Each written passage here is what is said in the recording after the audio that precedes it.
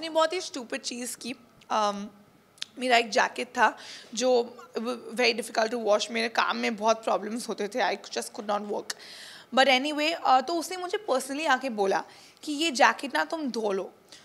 तो मैंने बोला yeah you know is gonna start stinking otherwise और वो बात वहीं पे ख़त्म हो गई।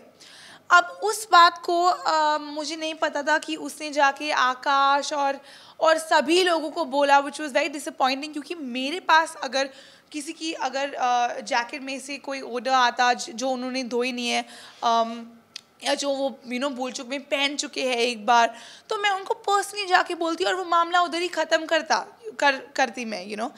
तो जो उसने किया वो मुझे काफ़ी इमेच्योर लगा काफ़ी अनकॉल्ड फॉर लगा काफ़ी लगा टू बी ऑनेस्ट उसकी कोई ज़रूरत नहीं थी मैं तो कभी नहीं करती ऐसा किसी को भी never Hi, this is Sana Khan, and I want to congratulate Lehere for completing 30 successful years.